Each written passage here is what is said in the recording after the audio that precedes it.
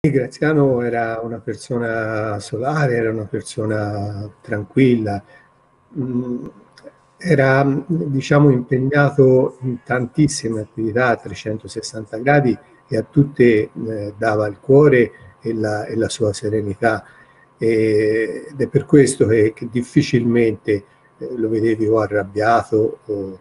certo era una persona che era legatissima a San Giovanni in generale, a San Giovanni Sportiva e anche a San Giovanni eh, non sportiva. E quindi tutto quello che andava contro all'azzurro eh, probabilmente Graziano non, non, lo sopportava tanto.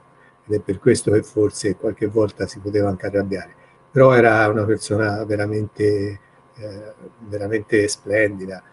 Mm, quando, quando, eri con lui io non ho, non ho un ricordo di essere stato in compagnia di Graziano e non aver eh, sorriso o, o, proprio scambiato delle battute che, che ti riempivano proprio di, di, di felicità.